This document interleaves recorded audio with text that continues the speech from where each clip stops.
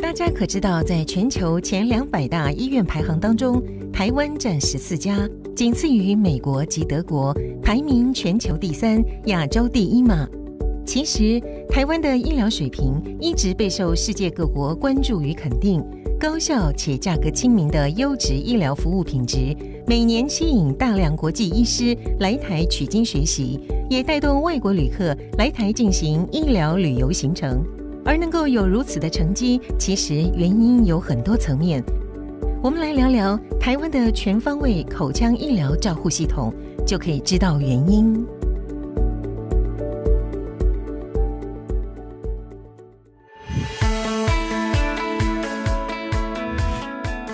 台湾有两千三百多万人，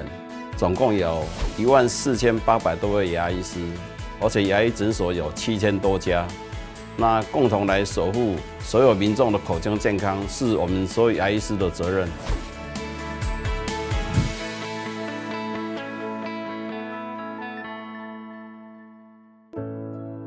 现在哈最需要的是一个能够把上中下游一起整合在一起的口腔的医材系统。我想以台湾优质的医疗以及生产制造研发的能力，台湾应该有机会在口腔医材这方面放眼全世界。因为我们的医材的提升。哦，跟技术的提升以及我们医材相关的一个配备，过去可能等一个放射线检查啦，或者是说正子摄影，可能要等待了一个月或三个月或五个月。我们目前来讲的话，可能是一周到两周的时间，我们就可以帮病人完成我们需要去做的一个癌症的手术，那可以让所有的病人恢复到最健康的一个状态，也可以让他重新再回到社会。口腔医疗的第一步就是疾病诊断嘛。疾病诊断我们需要许多的设备器械，比如说口镜、镊子、探针、钻针、全口 X 光摄影、电脑断层。那这些东西是协助医师诊断出来我们肉眼看不出来的一些疾病真相。现在一般的牙医诊所感染控制是一个标准作业流程，那这些都需要一些比较先进的设备，高温高压的消毒锅，然后震荡机，甚至经过臭氧杀菌的水，来确保整个口腔里面是无菌的。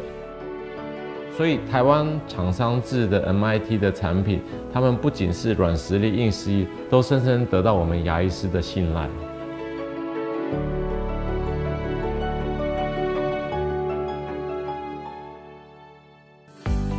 当我们把全口的断层影像扫描入软体之后，我们透过这个软体就会去进行规划。当医师在植牙的时候，就可以根据事先规划好的影像系统，把牙根精准的放入我们的齿槽骨中。那再加上刻字化的支台体以及机加工的牙冠，都会变成一套完整的数位系统。哦，那这个也是我们台湾未来非常重要的一个医材整合的走向。3D 口腔扫描应用范围相当的广，除了可以用来做传统取模的取代，我们可以用来辅助制作活动假牙、做植牙的机台，甚至于矫正的设计等等。那另外就是说，我们可以利用不同的材质进行数位化的制造，直接做成我们口内的成品。就以过去的一个经验以及技术的累积，我们会对于脏颚发育不足的啦、唇腭裂的，或者是说有一些颜面外伤啦、车祸的病人哈，我们希望说在这类的病人里面，他可以恢复到跟还没受伤之前一模一样的一个外观，甚至比受伤之前还要更美丽、更漂亮。这样拿着，轻轻拿着，牙刷要生效正里面这样刷。